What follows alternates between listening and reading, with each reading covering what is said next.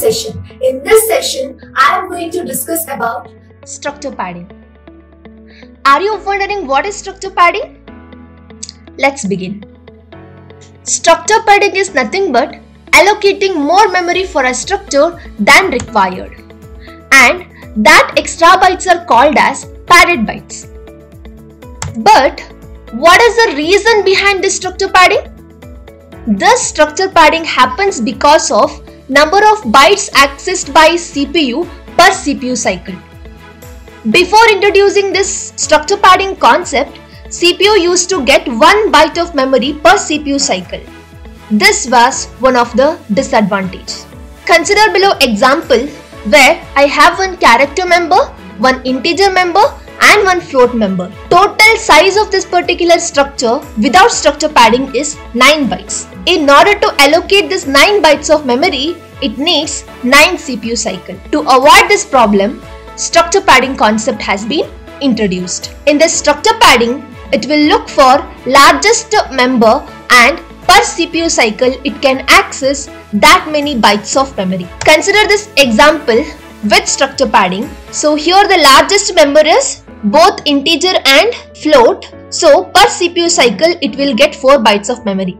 So it will allocate the memory as shown in this particular diagram. So while allocating the memory for a character member it require only 1 byte but per CPU cycle it accessed already 4 bytes. So 3 bytes are left empty. Then next we have integer member. So for that integer member, so this remaining 3 bytes are not enough. So it will access another 4 bytes of memory.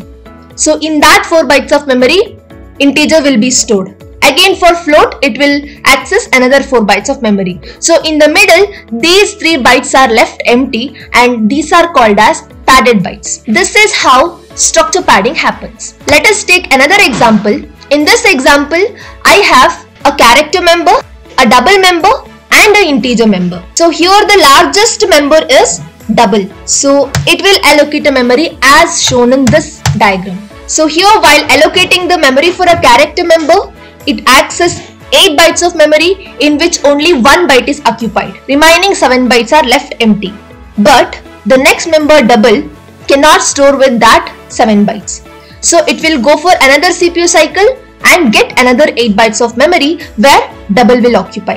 And then again the third member is integer for that again it has to request for another 8 bytes of memory in which only 4 bytes are occupied with integer. So now in total 7 bytes plus 4 bytes are left empty. So these bytes are called as padded bytes. So when large number of bytes are getting wasted, this structure padding could be a disadvantage. So at that time, we need to avoid this structure padding. How to avoid this particular structure padding? There are two ways. One is using hash pragma pack of 1, another one is using attribute. So in both the cases, it will pack 1 byte of memory per CPU cycle so that we can avoid structure padding. Let us see this practically. So here, first I am including the header file required that is just stdio.h and then I am declaring one structure.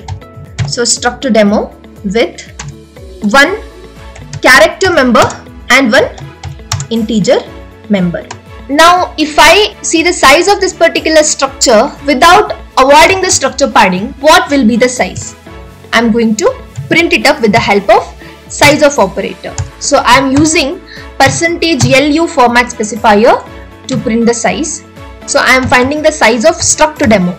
So if I execute this program, so it is giving me size of struct demo is 8 bytes. So this is without avoiding the structure padding. Now what will I do? I will edit the same program and I will use here hash pragma pack of 1. So here hash pragma is a miscellaneous directive that help us to pack the memory that is 1 byte per CPU cycle. So when I execute this particular program once again, you will see size of struct demo was 5 bytes. That means now there is no structure padding happening. So another way of avoiding the structure padding is using attribute.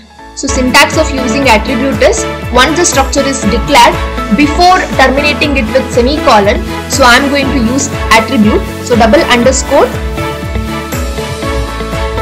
attribute double underscore, open double parenthesis, again double underscore, then you have to write packed. Again write double M underscore and close it. So now if I run the same program, so again I am getting size of struct demo is 5 bytes. So this is how the structure padding can be avoided. So this is about the structure padding. This can be both advantage and disadvantage. So we need to handle it accordingly.